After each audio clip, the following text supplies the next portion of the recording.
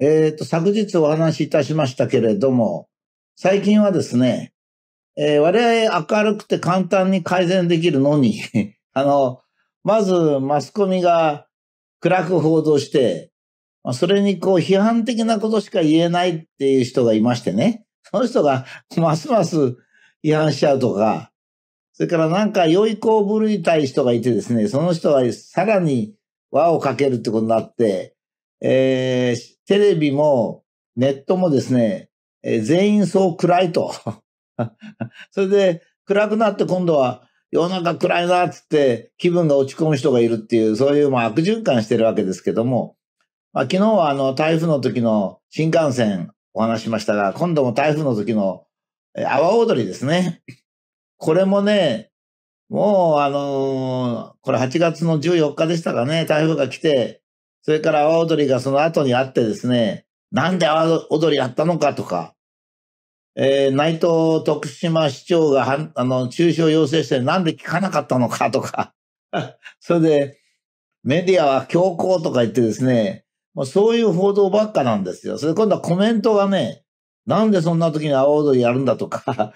阿波踊りやんなくたっていいじゃないかとかですね、もう否定的なことばっかなんですよ。こうやったらいいじゃないかなんて全く出てきませんのでね。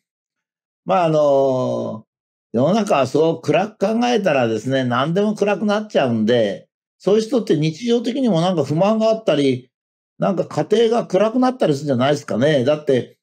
人を批判するってことは批判された方は必ず若干落ち込みますからね。ってことは、人を批判するっていう時に必ず改善と二つ言えばいいんだけど、批判の方だけ言えばですね、人をいじめるような感じでもあるんですよ、実は。だって批判された人は必ずあの、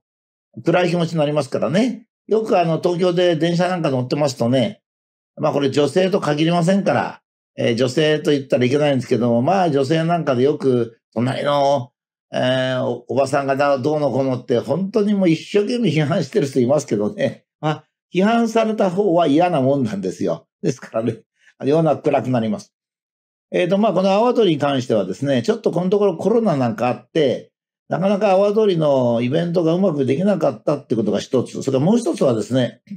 阿波踊りって踊りはですね、世界的にも重要なぐらい大切な文化なんですよ、あれ。あれね、レベルがちょっと違うんですよ。あそこら辺のね、踊りと少し違うんです。でですね、それもやっぱり日本人としては、阿波踊りの文化っていうのを大切にするってことも非常に重要ですね。まあ、実にね、踊りのね、振りといいね、まあ、踊りの対する影響といいですね、さすが阿波踊りというのが、まあ、有名になるだけの価値があるという文化財なんですよ、あれ。無形文化財ですね。で、まあ、あの、内藤沢子市長もですね、これ徳島市長ですけども、中止を要請したには、まあ、あの、自治体の市長としてですね、安全面を重視するということで、知事なんかも言っておりましたけども、あの、これもね、ちょっと考えなきゃいけないのは、えっ、と、市長っていうのは安全面だけじゃないんですよね。当たり前ですけどね。もちろん文化の振興なんかもあるわけです。それで、必ず積極的なことと消極的なことには、両方にもメリットがあり、デメリットがあるんですね。ですから、何でも強行すればね、多少の問題が起こるし、それから全部それでやめてしまえば、一日丸一日家に閉じこもっていたりですね、大切な文化的行事がなくなったりします。最近はあれが危ない、これは危ないっていう注意する人が多いもんですから、日本の文化的行事が結構なくなりつつあるんですよ。これはある社ある社会がそれに暗くなりますとね、今までせっかく長い間、100年、200年とやってきた文化的行事、文化が廃れていくんですね。まあ、日本人間には文化はいらないって、それはそうなんですけど、やっぱりスポーツでも危険は伴うんですね。もちろん冒険なんつうともっと危険が伴うわけですね。ですから市長さんもそこのところをもう少し丁寧に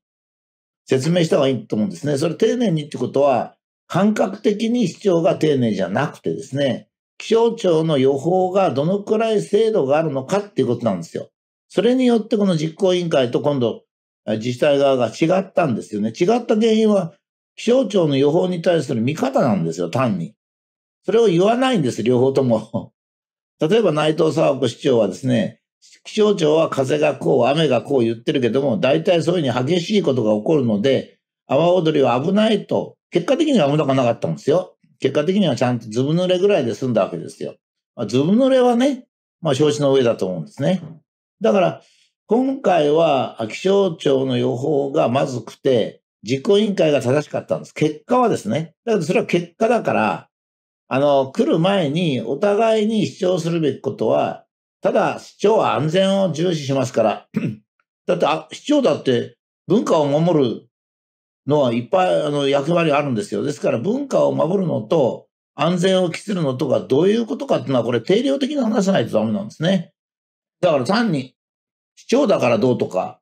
まあなんかね、あの、ちょっとそういう気があったんですよ。特に知事の意見表明なんかを見ると、何かこう具体的にそのどのくらいの本当に風が吹いて危なかったのかどうかっていう、そういうことはないんです。あの、知事はさんは後で言いましたからね。もう事故ですから。知事はもしかしたら気象庁を非難するべきだったかもしれないんですよ。実行委員会じゃなくて。で、実行委員会は開催を決定して、メディアはもう何も考えてませんから、えー、強行と報道してました。